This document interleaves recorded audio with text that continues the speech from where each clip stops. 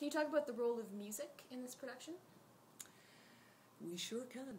Um, probably the first question is why is there why is there music in this production with Beckett?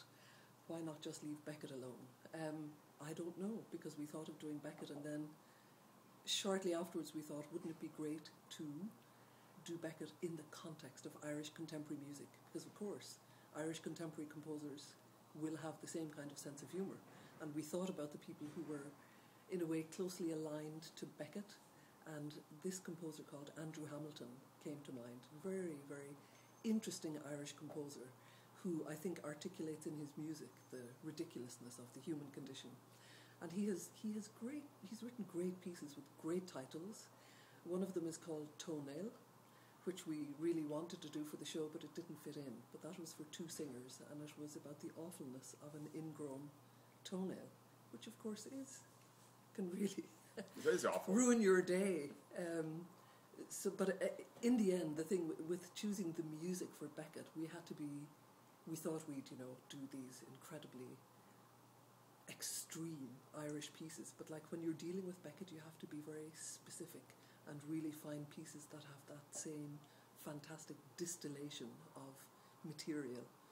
And uh, we found this piece by Andrew Hamilton called Drei Gesänge, and it's for voice and trumpet, which is an unusual combination in itself.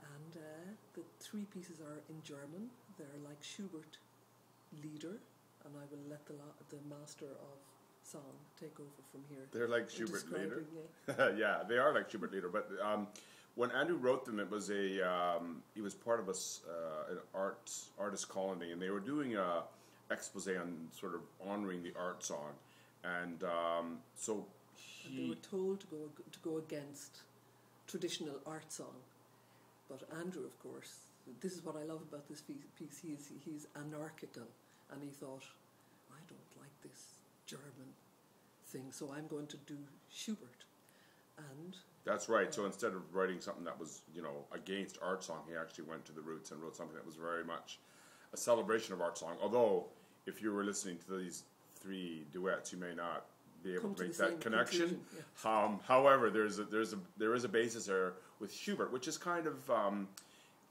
lovely, given that Beckett was absolutely obsessed with classical music, and Schubert was one of the composers that he particularly adored and practiced on the piano assiduously. He was a very a very decent pianist, and he spent a lot of time playing the piano. And his real love were the classics. He didn't particularly like Wagner. He figured that was all very overblown. So, just as in his own writing, his musical tastes were always very distilled and very discreet and uh, interested in miniature and he kind of Germany. forces. Yeah, he was a big. He was a fluent German speaker.